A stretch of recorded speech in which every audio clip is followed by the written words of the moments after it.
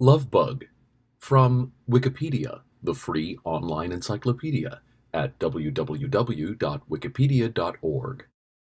The lovebug, Plecia nearctica, is a species of march fly found in parts of Central America and the southeastern United States, especially along the Gulf Coast. It is also known as the honeymoon fly or double-headed bug. During and after mating, adult pairs remain coupled, even in flight, for up to several days. The species was first described in 1940 by D. E. Hardy, but was seen in Louisiana as early as 1911.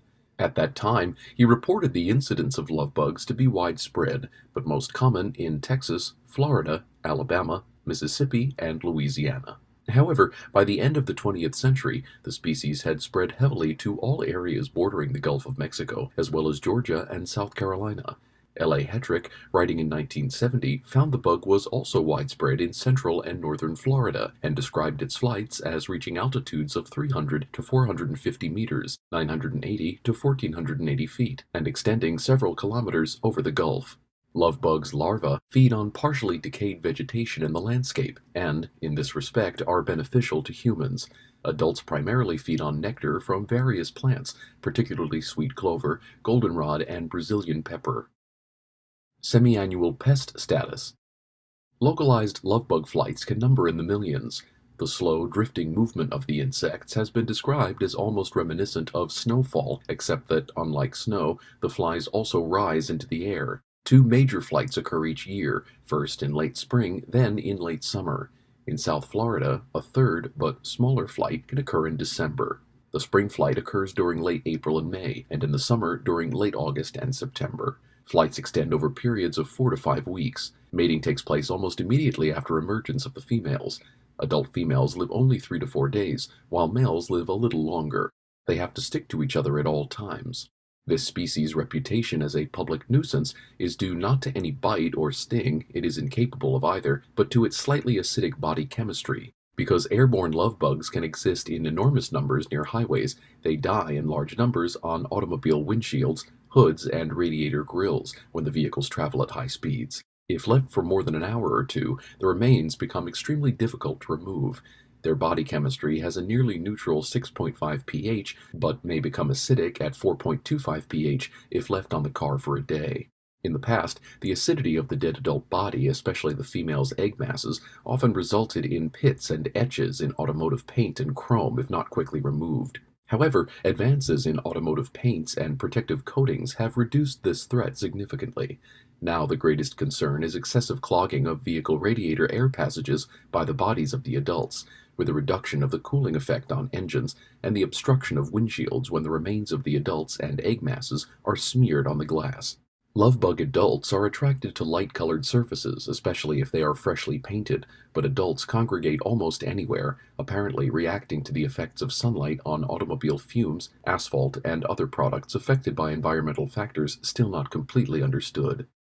Folklore Urban legend holds that lovebugs are synthetic, the result of a University of Florida genetics experiment gone wrong. Research by L. L. Buschman showed that migration explained the introduction of the lovebug into Florida and other southeastern states, contrary to the urban myth that the University of Florida created them by manipulating DNA to control mosquito populations. Much speculation about the lovebug still thrives. This is mainly because the larval form of this insect is seldom seen, as it lives and feeds in the thatch of grasses for most of the year. While various fungi are suspected of being natural controls for this species, biological control of these non-pest flies is not a priority for funding. Management Lovebugs are subject to some significant natural controls, such as various parasitic fungi and dry weather, which dries out the thatch, resulting in a higher mortality rate for the immatures.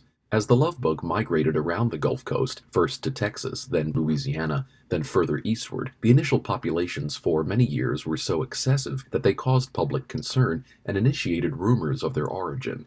However, as pest populations migrate naturally, their natural controls are usually not far behind.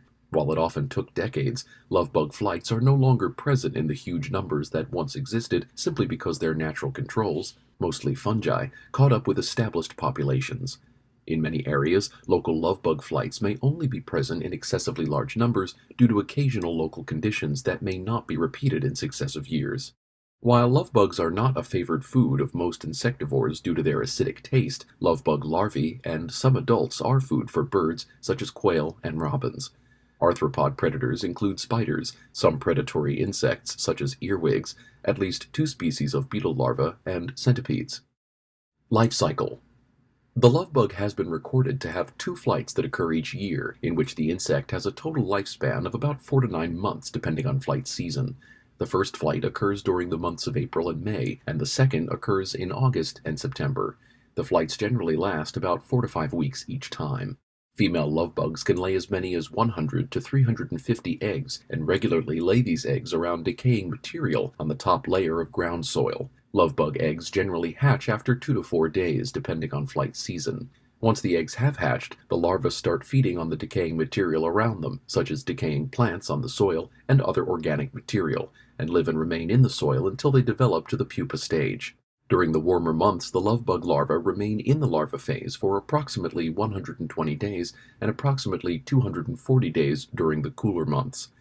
Lovebugs typically stay in the pupa stage about 7 to 9 days before reaching the adult phase, in which they can start reproducing. Once adults, love bugs are ready to start copulating to begin reproducing. Adult male love bugs emerge first from the pupal stage and hover around until female love bugs emerge. Mating between love bugs takes place immediately after emergence of the adult females. A male love bug copulates and will remain paired up until the female has been fully fertilized. Copulation takes place for two to three days before the female detaches, lays her eggs, and dies. Adult females have been recorded to live up to seven days, while adult males may live up to two to five days, but on average, love bugs live three to four days. However, Thornhill, 1976, recorded recapture data that showed males live longer in the field than females. This audio was recorded on June 17, 2019.